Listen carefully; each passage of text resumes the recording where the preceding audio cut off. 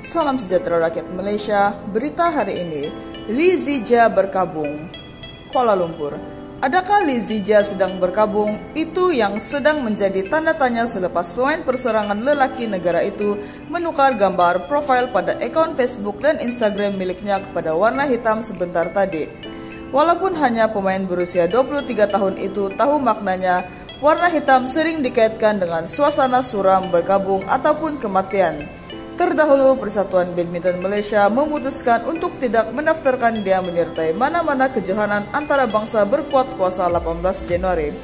Ia susulan keputusan juara seluruh England 2021 itu yang mahu meninggalkan BAM menerusi surat peletakan jawatan yang dihantarnya pada 11 Januari lalu.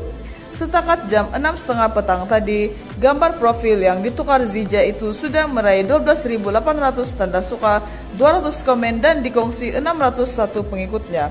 Meninjau di ruangan komen, rata-rata pengikutnya memberikan kata-kata semangat buat Zija susulan tindakan yang diambil oleh BEM. Sekian info hari ini, terima kasih.